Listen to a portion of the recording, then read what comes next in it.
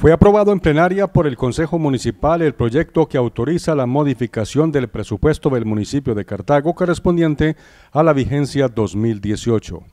Una de las modificaciones más importantes tiene que ver con la incorporación de más de 3.400 millones de pesos para infraestructura, que estaban dentro del rubro vigencias futuras y que pasaron a recursos del balance, como lo explica Mónica Guapacha, funcionaria de la Secretaría de Hacienda. Como este, este mm, proyecto inicialmente correspondía a recursos de vigencias futuras, estos recursos no fueron, este proyecto no fue adjudicado al cierre de la vigencia 2017. Por lo tanto, se, se, se, deben constituir es como recursos del balance. Entonces cambia, digamos, el origen de los recursos porque el rubro se llamaba vigencias futuras 2017-2018.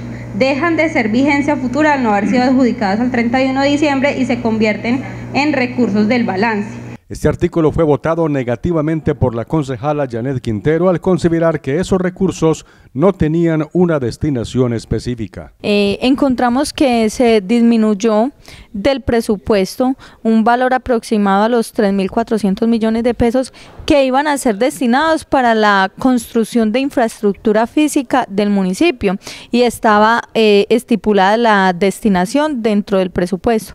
Ahora se disminuyen y se incluyen nuevamente, pero no se incluye esa destinación específica de que esos 3.400 millones de pesos sean para la construcción de infraestructura física del municipio.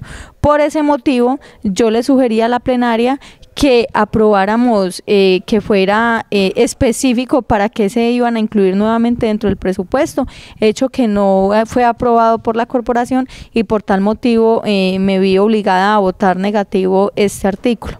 La cabildante cuestionó que tratándose de un proyecto tan importante, no haya estado presente todo el equipo económico del municipio. Para que ellos nos explicaran a la plenaria como tal y a las personas de las barras que nos escuchan cuáles son esas modificaciones. ¿Por qué? Porque es que en, la, en el debate de presupuesto, pues es un debate muy mínimo, es un debate muy reducido donde solamente asisten los siete concejales que hacen parte de la comisión, pero la comunidad en general se queda sin saber y sin conocer los detalles de qué es lo que se está aprobando en segundo debate. Por ese motivo le sugerí a la funcionaria encargada del grupo económico que nos diera claridad al respecto. Uno de los votos positivos de la concejala fue el artículo para adicionar más de 2 mil millones de pesos con destino a la financiación del régimen subsidiado de salud. El que tiene que ver con la adición al presupuesto de 2.111 millones de pesos aproximadamente para financiar el régimen subsidiado en la ciudad de Cartago. Eh, nos dieron la respectiva explicación de este recurso, a dónde se iba a destinar y cuál iba y cuál iba a ser el objetivo que se iba a cumplir con este recurso.